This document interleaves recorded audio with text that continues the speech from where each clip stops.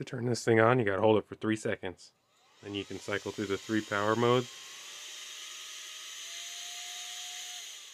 If you leave it in standby, it'll turn all the way off in a few seconds. Or you can hold the button again for three seconds to turn it off. And then pushing the button doesn't do anything again. You gotta hold it for three seconds to turn it back on all the way. Kind of like safety feature. This thing is super powerful compared to compressed air can. And it stays powerful. It doesn't get cold and weak like the air can does. Yeah, doesn't even compare.